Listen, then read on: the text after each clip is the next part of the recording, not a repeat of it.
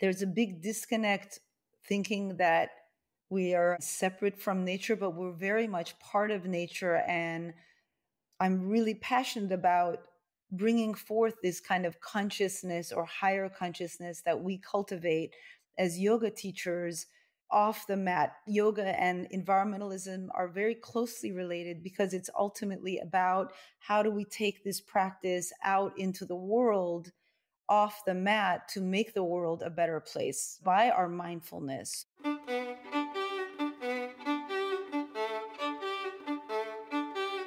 Hi, I'm Derek Mills. Welcome to the Glo Podcast. Goli Gabbay connects mind, body, and earth in this conversation with our guest host, Rachel Autumn. Goli and Rachel speak about Goli's therapeutic experiences with Kundalini and Yoga Nidra. And as their conversation unfolds, they connect the dots to suggest how a yoga practice might help us live more sustainably on our planet.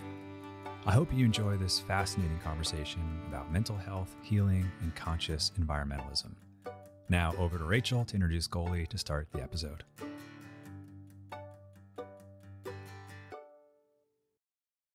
Welcome, Goli Gabbay, who is an innovative leader in the field of mind body wellness.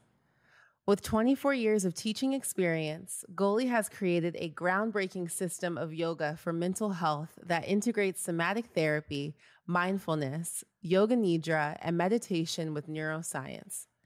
Her unmatched superpower to transform stress and anxiety into tranquility makes her a sought after keynote speaker in the field.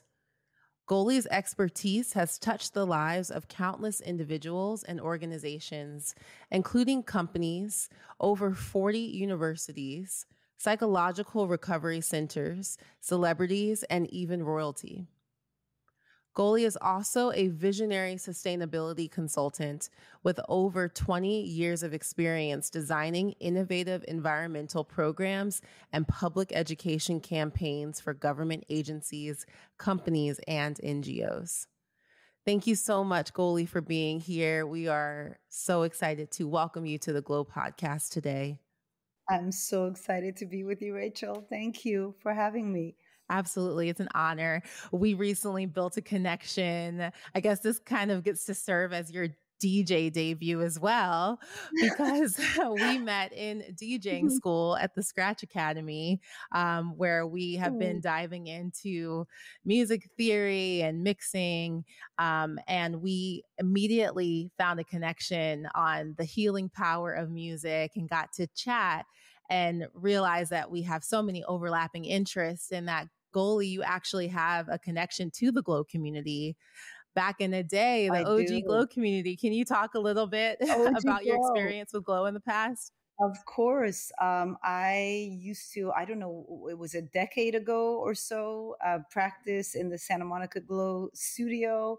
And, you know, I mean, Glo is, has the, many of my friends are teachers and it's, has the best teachers, I think, in the whole world as part of the faculty there, you know, and I love uh, Derek and Lisa and Ryan, um, really special humans, and they they've really built this incredible, I think, uh, resource um, for well-being and fitness and yoga and meditation and mindfulness and i've always been a, a, fan and was actually like i said in in studio during many of the filming back in the back in the og days so i'm i'm really honored to be here Oh man, we're so excited to have you. And I know um, Derek is, I got to chat with Derek, and Derek is really excited to have you on the platform and just Thank have this so beautiful much. full circle moment with you. I really believe that like attracts like. So it makes sense that you would have found Glo and all the work that you do. I would love to get into your journey in me- mental health, music, wellness, sustainability. Can you elaborate about your journey in mental health? Sure. It's a it's actually a personal very personal story. So I had started with my yoga practice when I was in college. Um, and I actually had like a profound Kundalini awakening in one of my very first classes, which was really amazing. But many years ago, uh, many years after that, I was actually diagnosed with thyroid cancer. By uh, you know, my mom saw like a lump in my throat when I was laughing one night at my parents' home, And in the desperation for kind of seeking a healing modality, she took me to a private Kundalini yoga session with a wow. teacher all dressed in white with a beard.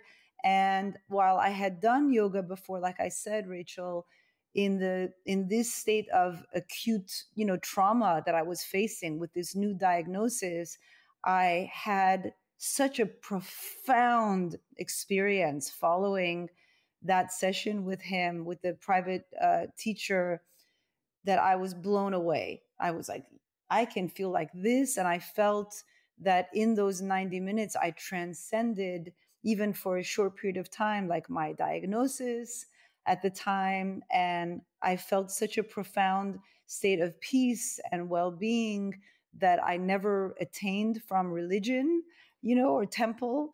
Um, and I knew that, and I became really a devout student, and I practiced regularly and regularly until I was called to teach when I was on a mountaintop in New Mexico on a yoga retreat. And when I began teaching, this is back in 2000, if you can believe it. So to this date, 25, 24 years ago, um, I knew that I wanted to, I, w- I wanted to explore teaching and really give and contribute um, to people that really needed it most. And so, very early on, I applied yoga and meditation. I called UCLA Medical Center and said, I'm a new teacher, and how can I help the patients there? And I did. Um, a doctor by the name of Dr. Emeran Mayer was like the head of UCLA's collaborative centers for integrative medicine. And he brought me on, and I started working with patients. Um, and then I went into, uh, for 13 years, I worked at psychological rehab facilities right here in the Pacific Palisades and Santa Monica and started working with people with acute trauma, anxiety, depression, eating disorders, post traumatic stress. Um, and in that place, I started, uh, de- I developed a system basically that worked time and time again because everyone came into session bringing an array of different issues and it was a lot of different energy and different different traumatic backgrounds and i had to hone it all in and create a cohesiveness and so by trial and error working with such different you know people and issues i developed a system of healing that really is is pretty simple. I mean, it it it, it was bringing in yoga, meditation, mindfulness, somatic therapy, um, but a particular sequence that always ended in yoga nidra, and I found that it was incredibly effective.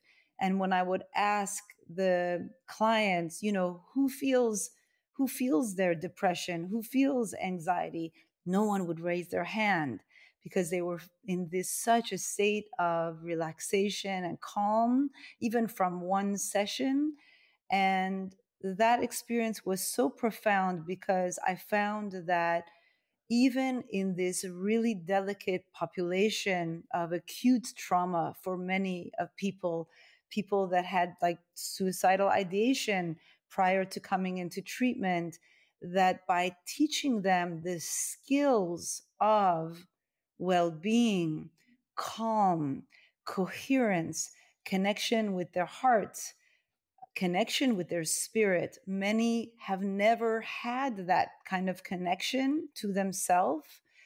Many had associated their entire identity similar to what I had with their diagnosis. Like, you are the anxious one, you know, you're you're depressed and they become that in their identity and through the beauty as you know of the yoga practice to have this experience of their true essence that was beyond trauma beyond depression beyond anxiety beyond their so-called diagnosis and into who they really were that was amazing to me. It was so beautiful, and that which is why I stayed for so long. And what I found, and this is back again in the I, I want to say like you know mid 2000s in year that the repetition of the practice of repeating bringing people into this place of calm and just like when we work out and we go to the gym the repetition of going to the gym over the course of let's say 40 days by the end of the 40 days you're like man i'm i'm ripped. Look at my abs. Look at my biceps. Look at my shoulders i'm ripped because the repetition brought forth this profound transformation. And similarly in the realm of mental health and well-being the repetition of teaching our nervous system to be calm and relaxed, of teaching the mind to become still and focused, and teaching the body to come into that place of calm again from fight or flight into the parasympathetic state, brought forth sustained healing and transformation. Because as I learned later in life, like now in recent years, neuroscience now brought forth the science behind what is actually happening in our brain when we practice these practices repetitively is that we're literally rewiring our neural pathways, you know, changing that default net- network. The amygdala of the brain shrinks and becomes smaller. The prefrontal cortex and the hippocampus becomes larger. And we're literally restructuring our brain and body and nervous system into this place of balance and calm, well being, ease, peace, greater concentration, greater memory, and just connection with our true self. So that's how I got into it. Oh, that's such a beautiful story and testimony. Thank you for for sharing that part of your journey and how you transmuted um, something that was such a, a, challenge in your life, and you've not only supported and healed yourself, but you've helped to support and um, help people activate that gift within each of us that can heal ourselves. And um, I'm so grateful for the work that you do and contribute. Thank you. Of course. Can you share a little bit more about the specific sequence that you mentioned that you saw like what what what that process is like that you've been using with clients or you were using at that time?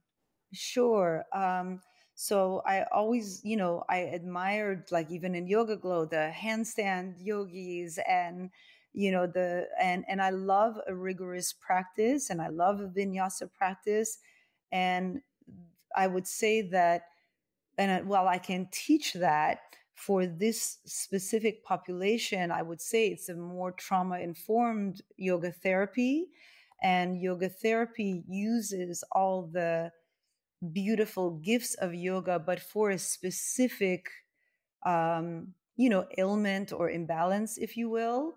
Um, it's more just therapeutically oriented. So even the words that i use when i teach was specific to anxiety and depression and trauma you know the and the particular sequence that i still teach today even with you know healthy healthy people that aren't struggling with an issue is uh i would say it's like a four um four step uh, system and the first step is just coming and observing how we're walking in into the into our mats you know observing the chatter in the mind that we all have uh, just from this fast-paced world and our you know digital world observing the tension in the body observing the disconnect again that i imagine we all have particularly those those of us that live in these fast-paced cities like Los Angeles, we're all like on the go and on the go, and um, so just noticing and observing and connecting with that in a in a you know this is the mindfulness component, getting in touch, and then through the breath and gentle stretches to begin, we start to you know we start the process of creating shift and so I start with kind of gentle opening sequence, leading to a more vigorous, like vinyasa practice, if that's appropriate for the clients. And for me, the flow yoga and the more rigorous practice is almost like kneading dough before you bake it. It's just working the kinks out of the body, the tension that we're storing. The if we're sitting at a desk all day, if we're driving a car all day, is you know getting the body warmed up and lubricated because the preparation for the body for me then the cool down you know then i'll bring them down into the cool down poses and in the cooling poses for me a lot of times like a um, hip opener forward bend uh, i'll teach a particular type of breath you know usually like extra long exhale breath so that the cooling sequence becomes not only like let's you know really cool into you know relax the hamstrings or open up the hips but you start to really calm the mind.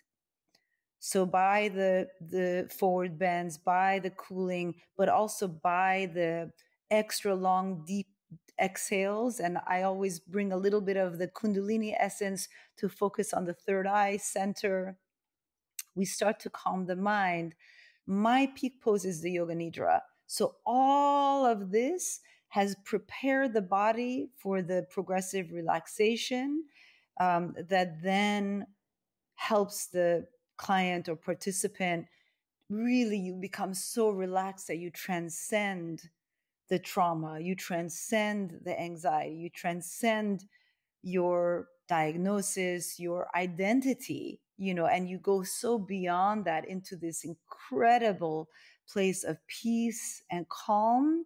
And for me, that's the gold of the practice. And then the fourth part is when they come out of that, is just to observe how amazing they feel. Wow.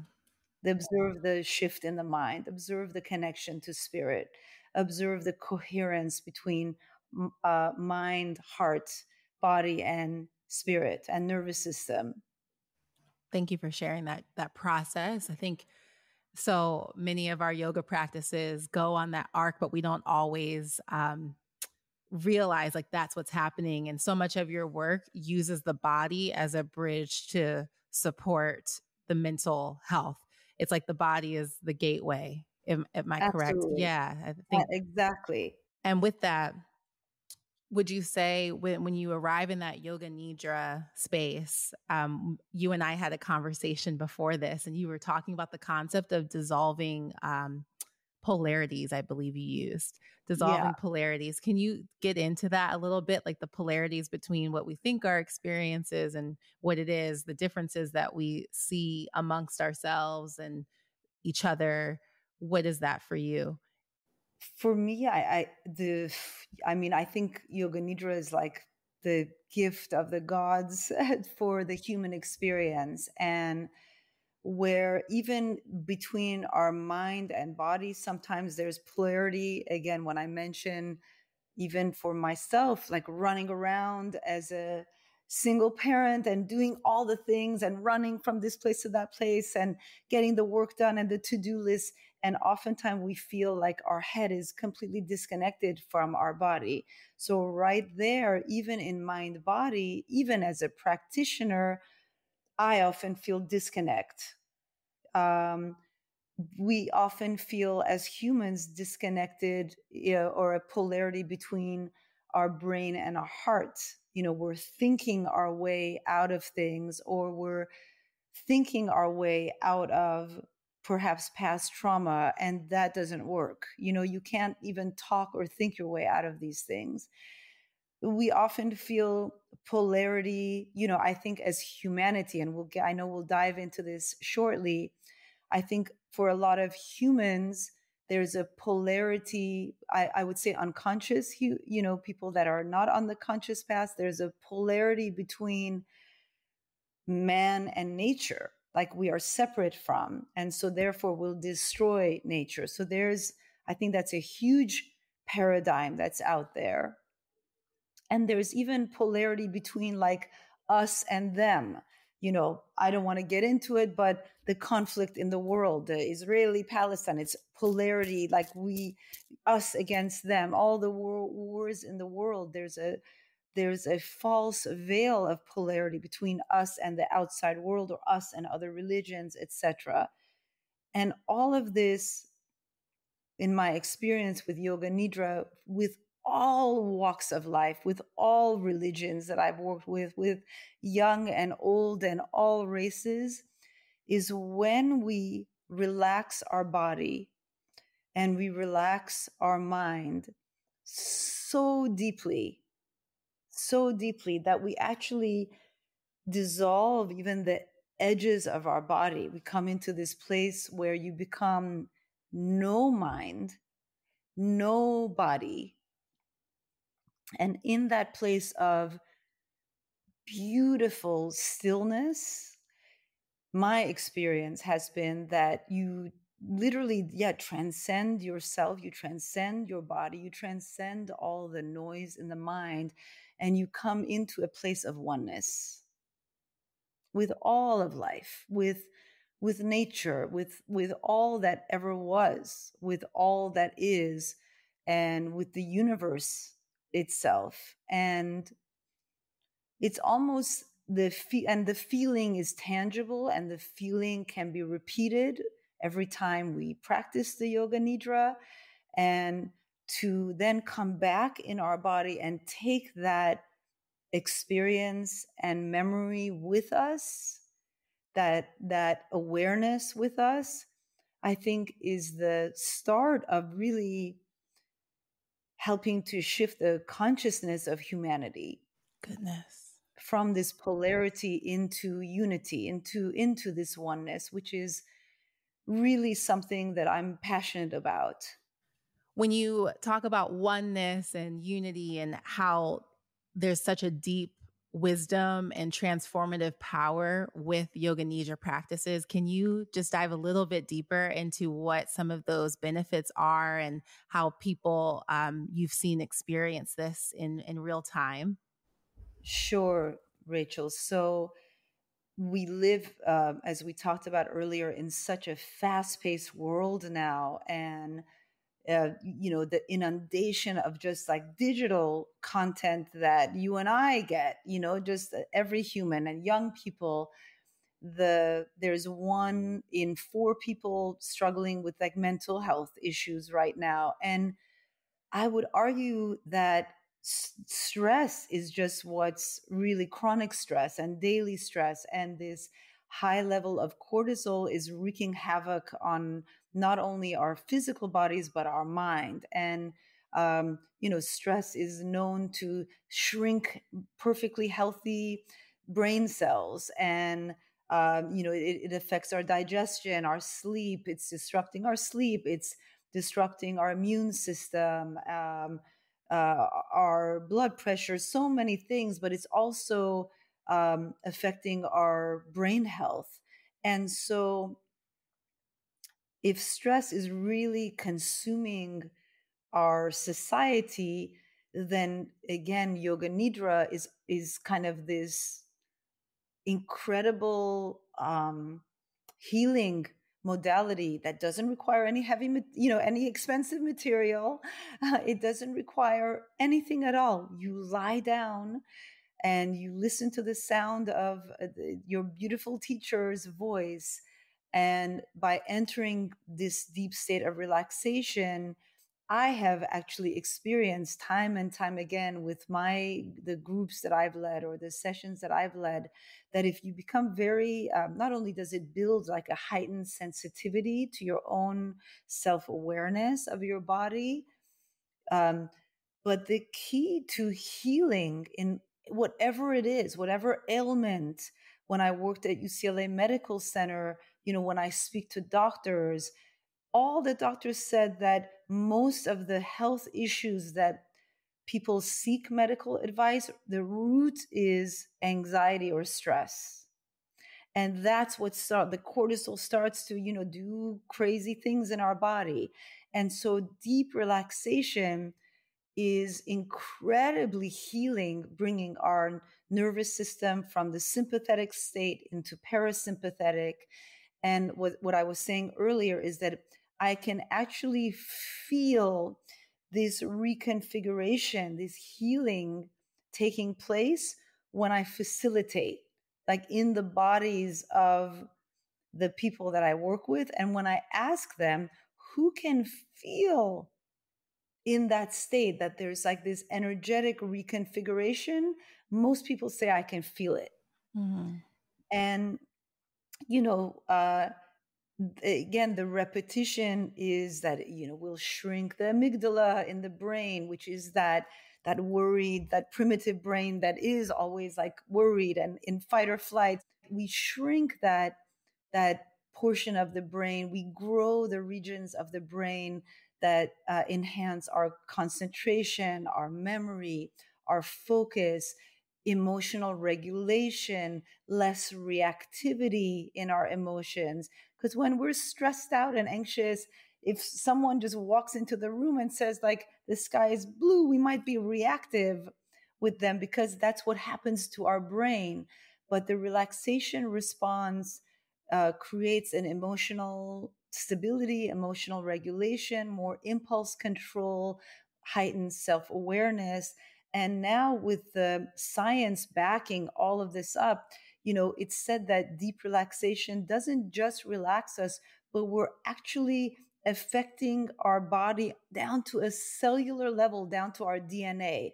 And we can actually untangle if you even have a genetic disposition toward, I don't know, anxiety or depression or whatever, that we can undo uh, our genetic dispositions by the relaxation response. Like we we can affect the epigenetics basically through these practices, through mindfulness, through meditation, through yoga nidra, through yoga. And that's incredibly exciting. It is. It is. And it's it's true. I mean, I've spoken with and have encountered countless people who all have the same reflections, myself included. And there's this quote that I'm going to butcher, but it's about like if you say that you're too busy to meditate, then you're you need to meditate. like, exactly. Like we all um, have the obligation to ourselves and to the planet and how we show up to the world and in the world uh, to take deep care of ourselves. And I believe that's the connection to your work in sustainability as well and taking in taking deep care of ourselves, we take deep care of one another, of the planet. Can we start to segue into your work in sustainability and how it connects to personal well-being sure absolutely rachel so um i i often you know at the end of my yoga sessions when we're coming into that place of it just everything feels soft our heart feels softer our mind is soft and that relaxation is a very soft feeling and when i bring people out you know from meditation and we just look around the physical environment even the world feels softer. And I often say, you know, imagine if the 9 billion people on the planet practiced with us, we would have a much more cooperative, loving, kinder, more compassionate world and one that that that we are better caretakers of not of our own body of our of each other and of the planet as well. And that is the I, I think that, you know, I often um, was hard on myself in the last 25 years saying, I wish I was just yoga and meditation, or I wish I was just sustainability. Why do I have these two passions? And now, you know, for me, it's mind, body, and earth. This, we have this human home that we need to take care of. And then we have our bigger earthly home and the two are very much interconnected because what now we're to segue into that, what we're doing to the planet, we do to ourselves. You know, even as simple as we drink, uh, you know, we drink water from a plastic bottle, and we know that plastic, there's so many images I think everyone has seen in Bali and elsewhere of of uh, and Asia of you know millions of plastic bottles like in riverways and in waterways and in the ocean and we know that that's bad for the planet and also recently how does it tie back to human well-being well um, bbc news just like two months ago put out a study that for every liter of water there's like a quarter million microscopic microplastics that we're ingesting. So, again, what we are doing to the planet harms us. Our well being is intrinsically tied to the well being of the planet.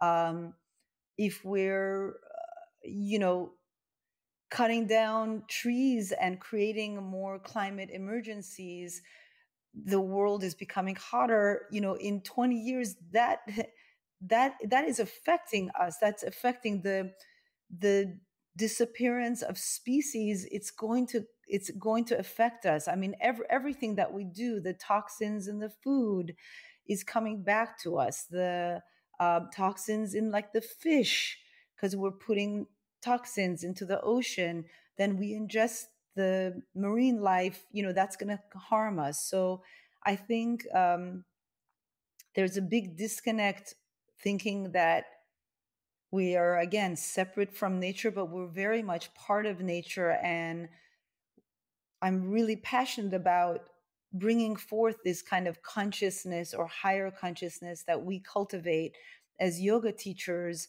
you know off the mat. Yoga and environmentalism are very closely related because it's ultimately about how do we take this practice out into the world off the mat to make the world a better place by our you know by our mindfulness. So it's not just about oh i meditated and now i'm going to go you know do this in the world but it's like how do we take that mindfulness and become these lights these beacons of light in the world to to affect um, a more harmonious unified healthy planet for all beings, for all living beings, not just humans.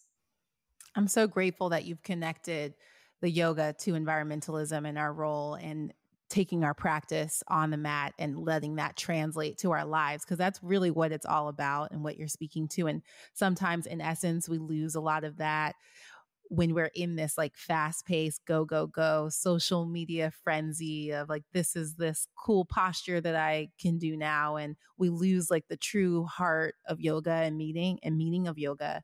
Yeah. When we speak about present day modern age everything being fast paced and with the damage that's done to our planet not necessarily moving at a slow pace we're seeing it actually expand at a more rapid pace now. But I think that the block for a lot of folks is that they don't see right away the damage that they're doing in their day to day action because the damage comes to the next generation or it comes however many years later. And we don't necessarily pay attention to things that don't affect us in the moment. That not everyone, but speaking pretty generally here what are some ways you think we could start to shift perspective around our daily action and our, our daily practices without necessarily seeing the outcome yet? Like, what are some ways that we can reframe our relationship to what we do daily without receiving yet the benefit of the good that we're doing? Just trusting that, but when we do good, goodness will prevail? I have a lot. I have a lot, Rachel. but um, one of the things I happen to bring a prop with me is uh, we can do, you know, oftentimes I think these environmental uh, issues become so daunting for us as humans. Like, oh, what can my little action do for the earth?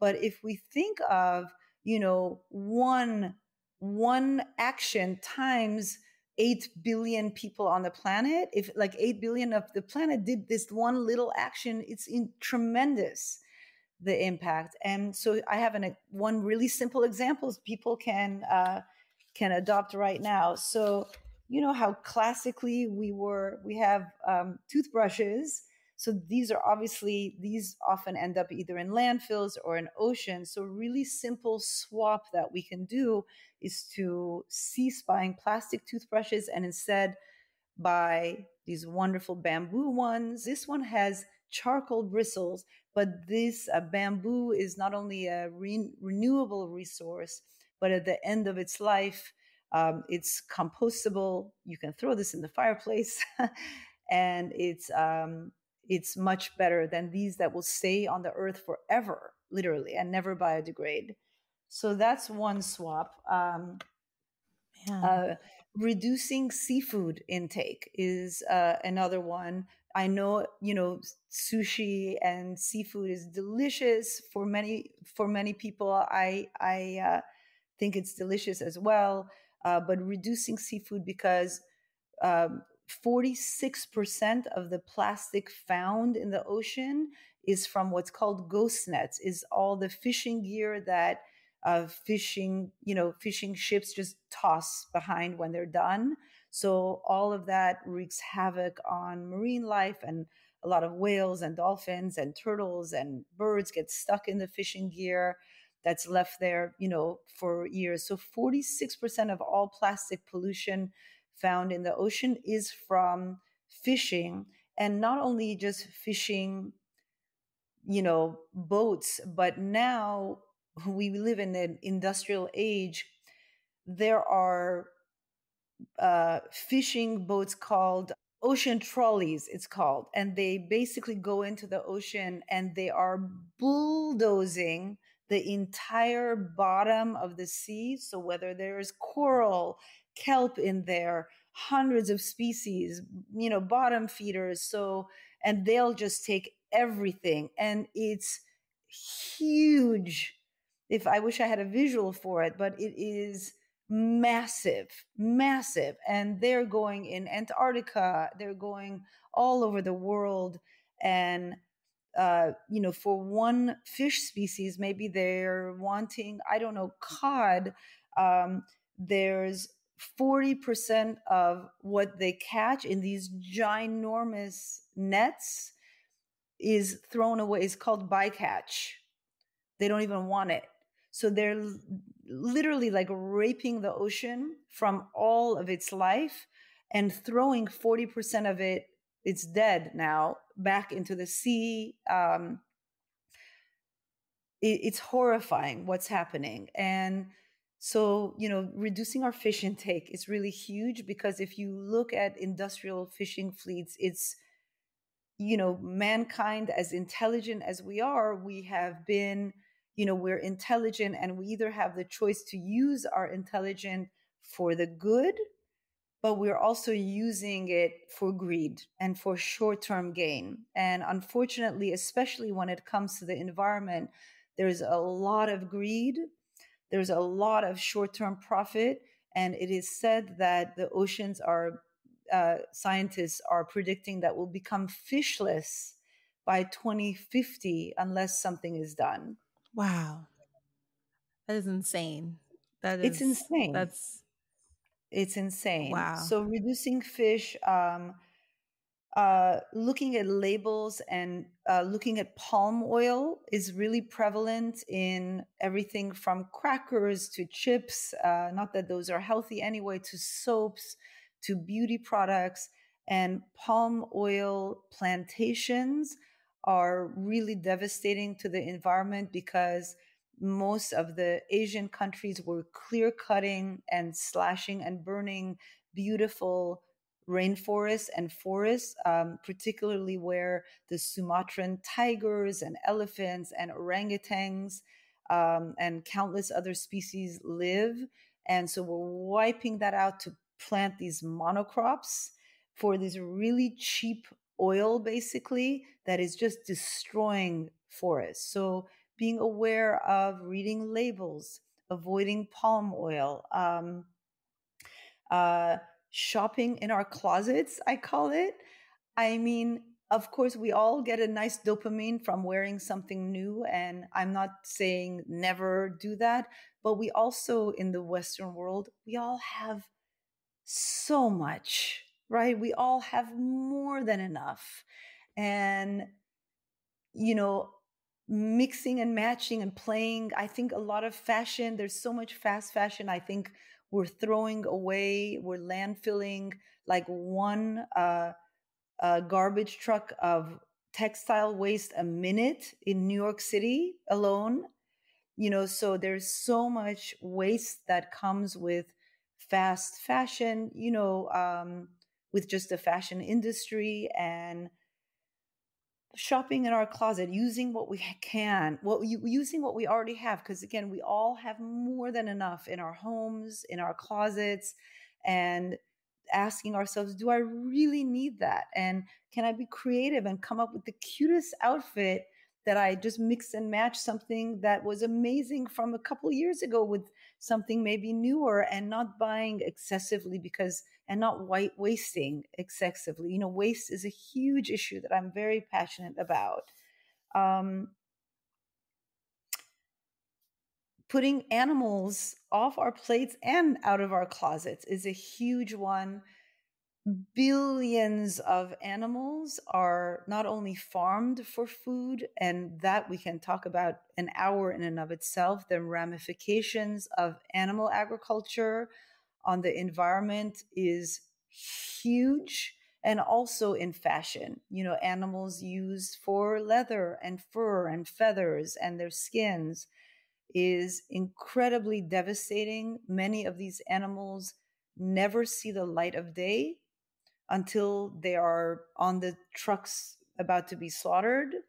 Uh, they are, you know, chickens are li- living in crowded cages. Um, there's antibiotic issues with factory farms, making us resistant to antibiotics. Um, because they're they're in such crammed places that the farmers have to feed them with antibiotics so that they don't spread disease but then that again the connection that that impacts us yes. and it's yeah animal agriculture is probably the most devastating thing on the planet for forests because we have to clear cut and burn forests to make space for pasture land and for the food to grow animals. So, again, like football fields of forests are burned down every minute just to transition that land into pasture land. The impact on our waterways and oceans, because this is gross, but it's real. The manure from factory farms goes somewhere and oftentimes, all the time, it ends up in our waterways. So, in the Gulf of Mexico, for example, all the farming that we do in uh, middle America is going down the Mississippi River into the Gulf of Mexico. And the Gulf of Mexico is now the largest, what's called ocean dead zone in the world, where all the fish float to the float to the top and they die. There was another BBC thing uh, uh, documenting this a couple of months ago and it's because they there's so much nutrient from the factory farms in the oceans that there's no life there and again that impacts us you know we're not this isolated thing on the climate so every time we're clearing land for we're deforesting it to make pasture land for cows we're diminishing not only the trees, which is the cooling cover of the earth. That's why we have all the climate emergencies in Australia, um, in Asia, in Europe. Europe was the hottest year that we had ever in 2024. Why? Because we're continuing to clear the forests for animal agriculture, for logging, but primarily for animal agriculture. Um, uh, climate uh, by and and as when we clear the forest so every time we wipe out this beautiful lush old growth forest filled with you know monkeys and parrots and mammals and insects and flora and fauna. That's all wiped out. It does two things. We also lose this incredible biodiversity of the earth that makes earth magical. It's because we have this incredible beauty of the planet that makes earth so magical. We're making it barren. So we're losing this precious biodiversity that we can never mimic and bring forth. And when we lose biodiversity and we're wiping out the homes of these animals and birds, it's leading into species extinction. So, right now, on our clock in our lifetime, it is said that we're entering the next mass, you know, it's 1 million species are on the verge of extinction due to human activity right now. So, adopting a plant based diet, again, I'm not, we don't have to be perfect at it, but doing our best to reduce our meat and dairy intake and adopting more plants, more vegetables, more tofu, more legumes. And do you know what that does? It's actually scientifically proven to make us healthier. Yes. Man. Wow. I'm going to take a breath with that, that information. No, because it's so important to share this. I think that a lot of us exist in our bubbles or exist in the bubble of the community that we're in and we are not always exposed to or aware of everything that's going on in the world. And um, it's so important to highlight this. And sometimes it can be icky and scary and, like you mm-hmm. said, a little gross, but it's the truth of the matter. And at the end of the day, we're all contributors of this and to to know better is to then be charged with the act of doing better and so much of what we were talking about earlier so essential in in giving yourself that experience of of rising to the occasion mm-hmm. of your mm-hmm. life and rising to the responsibility of shining your light and being your best self and how that connects to our collective responsibility and healing ourselves, our planet. And so I'm so grateful that you have you've allowed yourself to be multi hyphenate, mm-hmm. multifaceted, because so many of us that have different interests, we do feel like we're supposed to do it like this or be one thing. And by you connecting the dots, it actually creates it creates the opportunity for people to to deepen their practice, to deepen their self-awareness, how do how do they then move into the world and impact the world in a better way. So thank you so much for sharing all of this. It's essential You're welcome. It's thank essential. You, i i something is brewing in me that i wanted to tie it back. So the the way what i just shared and i know that it was a lot and it's heavy it's not light it's intense and it's real and it's what's happening is that you know how it relates to yoga is that one of the principles of yoga is ahimsa is non-harming non-harming to ourself and non-harming to others.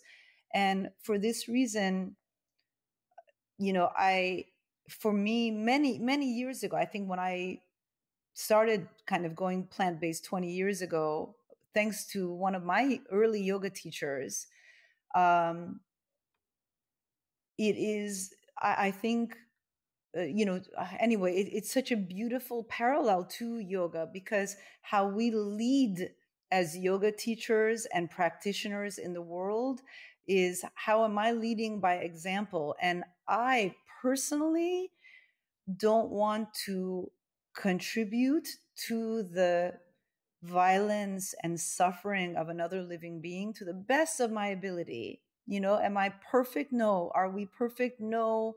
There's no judgment, but can we lead by example to cultivate a more kind, compassionate, considerate, respectful world for all living beings? And for me, like as a yogi and as an environmentalist, it just really made sense, like for my heart to to lead my life and my plate from my heart. Um, uh, you know, rather again thinking like, oh, this for this five minute meal, like, well, what did it take for this animal to be on our plate? A lot, a lot. And there's so many more ramifications that I won't get into. You know, the impact on wildlife, like wolves, horses, they're being wiped out again because of farming interests. So the the the the impacts are so huge. Far, I'm sorry, there are so far, uh, wide. The impacts are so widespread, and um, but leading it back to the yoga practice, you know, it really aligns with ahimsa and non-harming, which is one of the principles in yoga philosophy.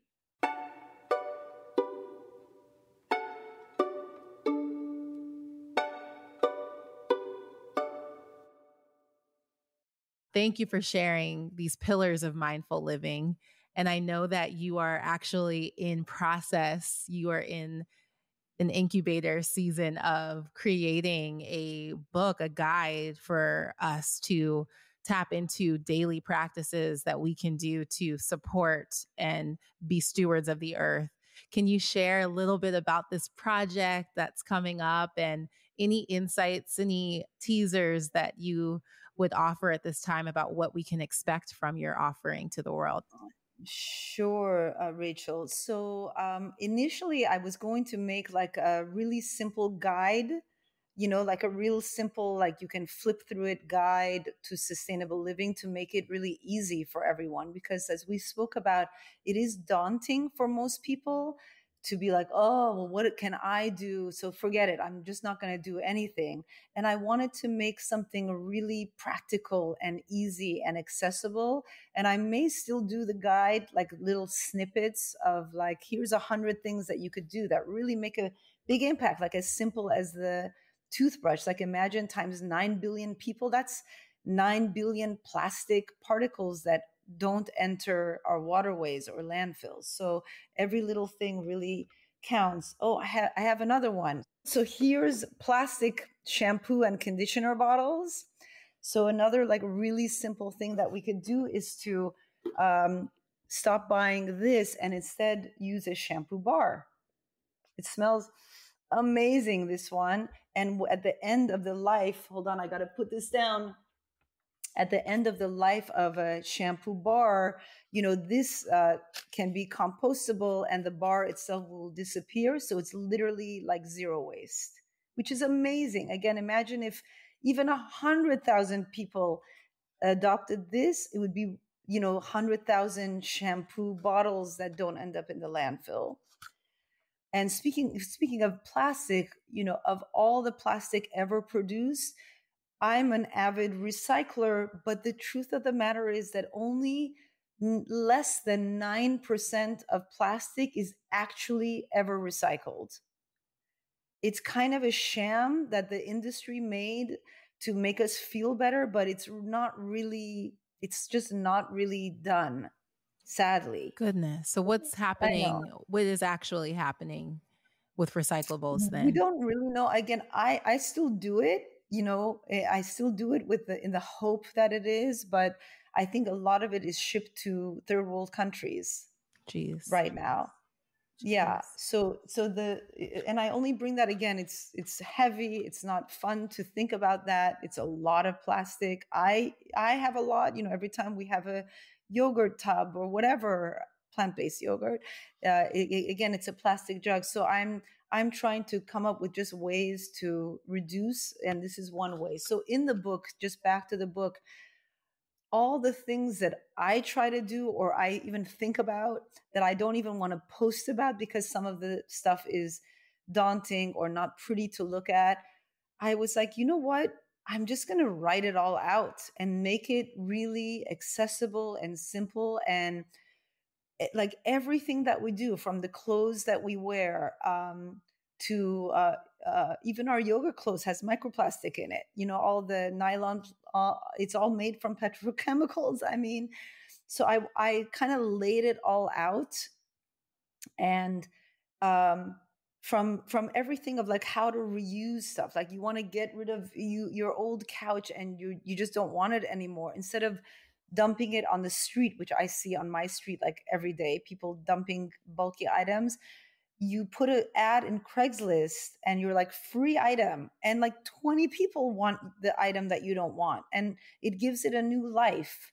So I just give like really clear, easy to follow solutions to like everyday things that we do, everyday things from buying recycled content toilet paper and you know like how that affects our forests and i just make I, I laid it all out in a, in an easy to follow format that gives you the education of the why, you know, what the issue is, and and the solution, what you can do to make it better. And so that's coming up. Hopefully, in a couple of months, I might I might make it a digital book because I want it to be zero waste. Ah, Of course. Um, I'm so excited for this. This is, it's because it's what you just spoke to um, just now about the solution oriented approach, because it can get real heavy real fast. And so yes. presenting opportunities for us to contribute to a better world, a better way of living, a more mindful way of living feels so empowering and feels like something that you can sustain and yes. and keep up with and grow. And I'm uh, imagining too that this is all kind of like the concept of stacking your habits, habit stacking. So, kind of switching one thing in your daily practice. And then after you, that's second nature. The bamboo toothbrush is your new thing, then maybe now we can start to move on to a new sector of our life. It's not a total exactly. change and disruption of your life. It's it's an invitation to deepen your awareness and as you become more aware and in yourself and in your contributions to the world for the good hopefully you're able to then rise and make some subtle shifts. Exactly rachel. Yeah making making it easy just like uh, even adopting a meditation practice you know you could start with like one minute a day yes. you know and that one minute you're like oh i could do this and then maybe you know lead uh, like build it up to 15 minutes eventually and yes. then maybe 20 minutes and maybe half an hour and it's the same with the sustainability uh, sustainable living tips it's like maybe you just start with one or two things but the book is going to offer you a lot and i think by gaining the awareness like even you know I, I even have chapters in the book on like adopting pets instead of buying from breeders, you know, and what that entails. And I think a lot of people just don't have the awareness of their actions. And in the hopes of bringing the awareness forward on the table, we can, as a society, make more informed and conscious choices um, that are also, again, more heart centered. Yes. You know, more kind and compassionate. Yeah, it makes me excited. I'm seeing the world of 9 billion people adopting this one thing. Like you sharing that, it it really the scale of the difference that we can make feels so much more attainable and it again it's that concept of dissolving polarities like we're all connected yeah. we're all connected we're all connected exactly exactly it's a science like we you, we all you know we all i have a little snippet in the book actually that talks about our genetic um, commonality with all the other species of life. Like it's pretty we're really deeply connect interconnected with with all organisms on this earth.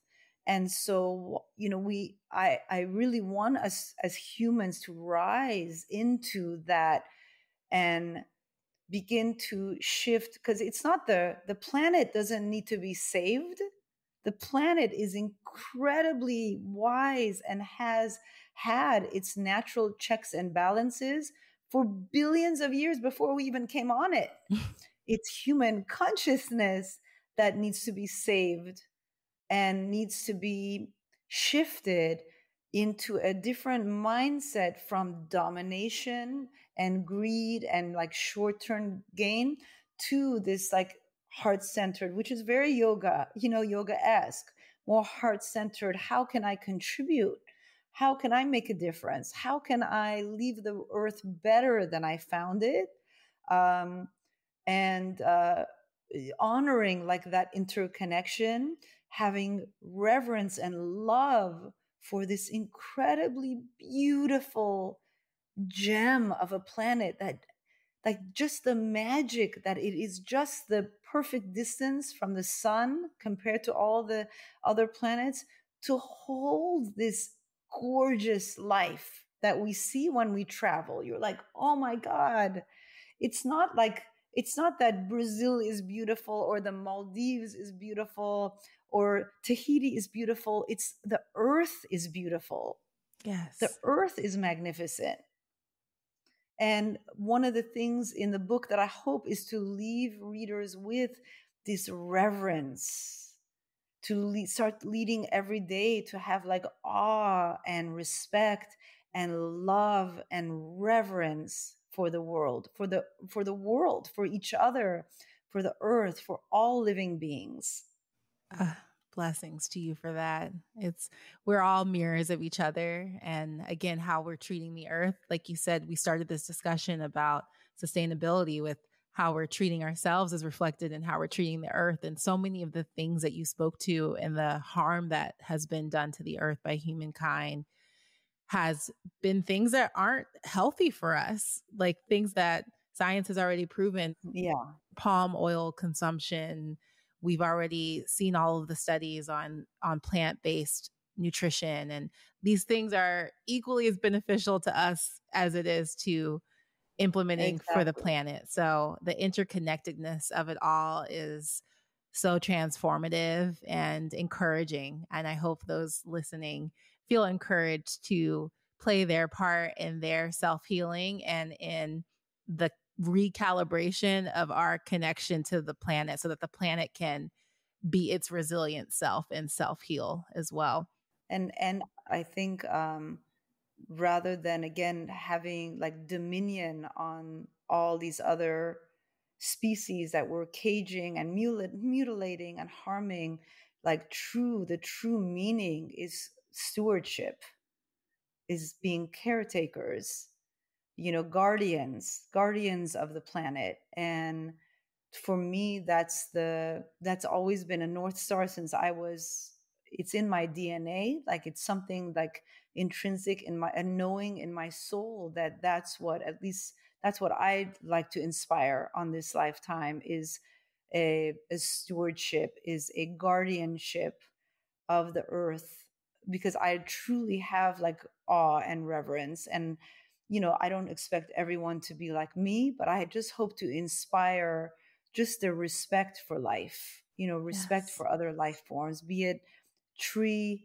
animal, you know, other human, um, and you know, all of the ocean, all all of it. Um, so, and I I think it's possible, and I think um, I don't know, like if we take it back to music rachel you know the the joy that people have like dancing together in community is that i think ultimately when we transcend that disconnect we all like that is like why is it that people love dancing and people love music? It's because we're gathering in collective in harmony with the earth in that moment with each other with music with vibration you know so i think deep down like it's there for everybody but we've just kind of forgotten yes yes and that's why we we both are DJs now. Yeah.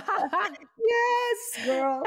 It's so fun. I love it. Yeah. Well, because DJ is it's, it's, a little deviation, but it's so connected it to this conversation. Um, because it's a it's a vibe curator. A DJ exactly. is a vibe curator, is a moment maker. It's it's a totally. heartbeat of a party. And as someone who gets to be that MC, that master of, yes. of ceremony, you get to establish the vibe. So having DJs even who are high vibrational beings who are tapped yes. into self care and deep care and wisdom for another that sets the tone and the vibration of how we're all going to connect and it's why having music in a positive um, light positive messaging positive community um, my dad grew up in baltimore maryland where i'm from and he used to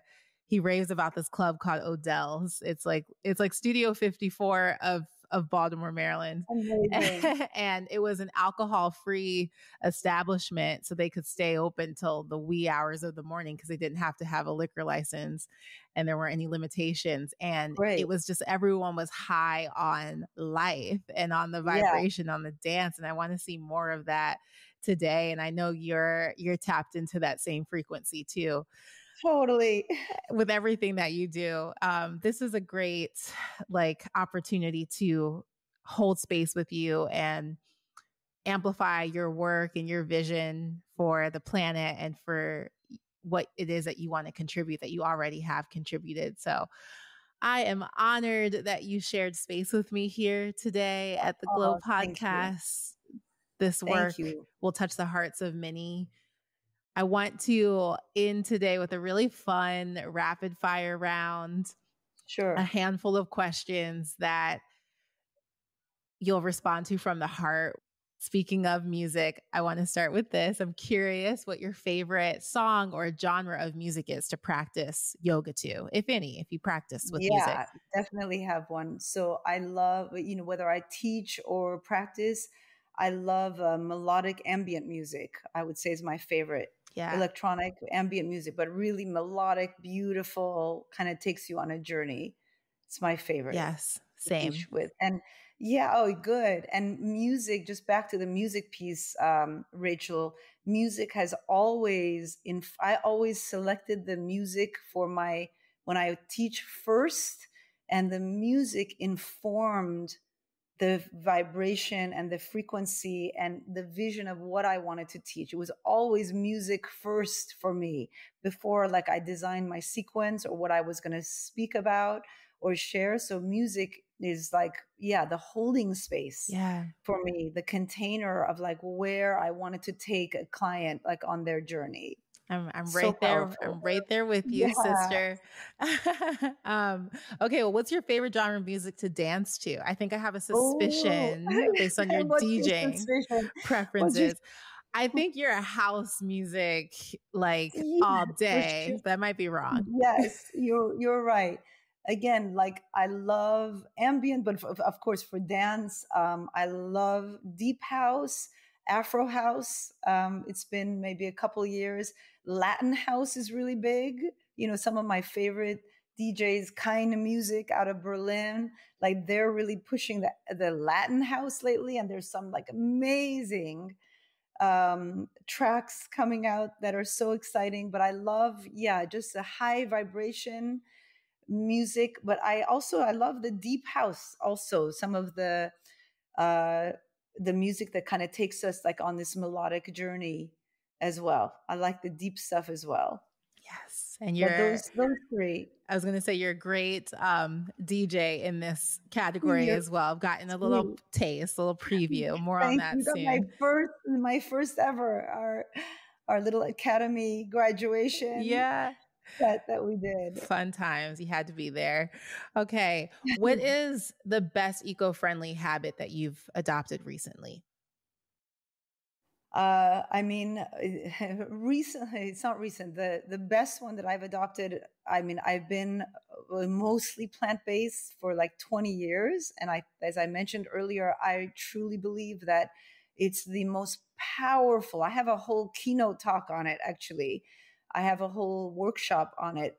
From the research that I've done in this field, it's the most powerful action that we can take as individuals to better protect the planet, the forest, the climate, the waterways, the air. Um, so that's you know I wouldn't. I, it's not recent, um, but it's a long time. And then uh, more recent, I would say, yeah, the shampoo bar is a very recent thing. I wish I did it earlier um, and I'm eliminating like all the bulky plastic. And the bamboo toothbrush is like a couple years that I've done it. I'm like, why didn't I think of this earlier? I know.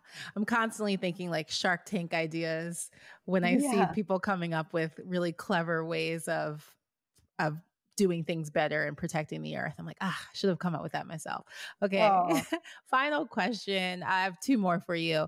Um, sure. Is there a book or a resource that you would recommend folks who are kind of at the beginning of their awareness on sustainability? Um, I would say keep on the lookout for my my upcoming guide, whatever it's going to be, my e-guide, my ebook, because as I mentioned, I think it'll really just make it tangible, like really easy to follow, really easy um, to understand as far as what the issues are with all our everyday habits and practices, and then what the simple solutions are. And I talk about really everyday things from what to do with your old computers and and phones that you don't want to uh, you know pets, lifestyle, food, fish. Um, you know just, just an understanding of our like everyday to fashion to clothing to waste it covers everything um, otherwise i would say uh, and i can provide this later maybe on a link um, to follow maybe particular accounts on instagram that i find to be really informative. Thank you. We appreciate that and we'll definitely share those sure. in our show notes. You might have spoken to this already but repetition is is power here. So if, if it's the same answer all good. Final question for you is what is one small change you wish everyone would make for a greener planet I did touch upon it already. I would definitely say, like I said, it's not small, but I would say adopting a plant based diet is the the maybe even reducing um, reducing meat and dairy consumption to, you know, if you're having it like seven days a week, maybe reducing it to four days a week. Um, meatless Mondays is a thing. And I, there's so many, I, I can also put in the link. So if people are uh, used to eating meat like seven days a week or some kind of animal product, reducing that to maybe four days a week and having plant-based options on those other days and I, I follow an account on Instagram. Again, I'm happy to share that it's so mind blowingly delicious. And they have recipes like every day. Like I, I drew, I saved all of them. I'm like, oh my God, it's so tasty what you're showing me. So, um, and from friends of mine that I've inspired through the years to adopt everyone feels better. They're like, "Oh my god, like my mind is more clear, my my body feels better." And Dr. Neil Neil Barnard and Dr. Michael Greger who are incredible scientists who are plant-based based MDs. There's countless others. They actually did a study like I think was like 1500 individuals at a company uh, that um, it was a mental health study and they after two weeks of going plant based, there was a reduced um, irritability, um, uh, anger, uh, uh, depression, anxiety. Um, they felt people felt better after two weeks in their mental health and wellness. And when I used to eat meat, when I was just starting my yoga practice, I had a personal experience of feeling emotionally better. My yoga teacher um, said to me something because I asked him, I said, Guru Singh, why is it that I wake up angry in the morning? This was like was in my 20s. There's like nothing in my life that I should feel angry about. He said, Goli, it's the meat that you're eating. And I said, Well, why? And he said to me something that I'll never forget. The last thing that an animal feels before being slaughtered is fear and adrenaline in their body and in their you know in their nervous system and then we ingest that 3 times a day and i literally felt that that morph in my body in a strange way and as soon as i listened to my yoga teacher i stopped eating it was chicken at the time i felt better i didn't feel i feel peaceful in my being so um, and if not, if that just feels daunting, just go for the bamboo toothbrush. It's really simple. I appreciate your shares so much. And it's, there's so many things that you can start anywhere, friends. Like, start anywhere, start today. I think that this is some powerful work that you're doing and it's exciting and it and you're talking about the joy and the peace that comes from yeah from this awareness and these applications to life as well. So it can be fun to it can be really can be fun, really fun. And, really delicious and um it's a it's a way because I think most people uh you know if you put a a chicken or an apple in front of a child and say which one do you want to eat? the child is going to go for the apple you know and i think intrinsically in our heart we are good humans and we are loving people and this is an expression for me to just lead with love with my heart you know with what i put on my plate as well. Absolutely. So much love and reverence for you and your work and everything that you reflect out into the world Thank you, Rachel. Such an honor to know you and grow with you, DJ Goli Gabbay. Rachel. I have so much more to say about the DJ realm, but I know we're at time. I know. Oh man, it's it's a powerful thing. You're just gonna have to stay in touch with us on the socials and see where, where DJ sure. Land takes us. But sure. my DJ name is DJ Autumn Rose. It's my middle name Woo! and my grandmother's name. And it's DJ Goli Gabbay because why would you have to change that fierce name? Exactly. so thank you again, Goli. Such a, a pleasure, you, a treat. I'm excited to um, integrate some of your wisdom into my life today. Right. And I hope folks uh, will want to stay in touch with you, your work, looking out for your upcoming book or ebook.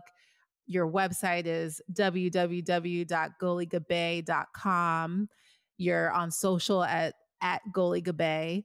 Can you share yes. if there are any other places we can find you and stay in touch with you?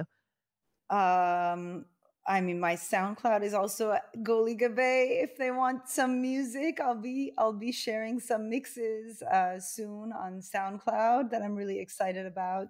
Some high vibes, or I'm I'm actually going to do an ambient mix as well for some really deep relaxation, beautiful, you know, softening to the nervous system yes. frequencies there as well. But those are those are the best ways to get a hold of me, and I really uh, I really thank you, Rachel. I know when when I saw you, you were doing a back to back with one of our classmates, and I'm like, she's amazing. Who is this beautiful?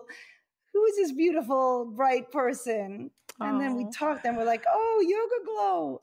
Yes, we have that in common. Yep, instant, instant connection, instant love. Instant connection. It was all meant to be. Just a it was. One more deviation. We actually weren't in the same class. You just happened to be practicing during my class. So that's but then I came to then I like slowly I'm like, I think I like them better. I'm gonna come into this class.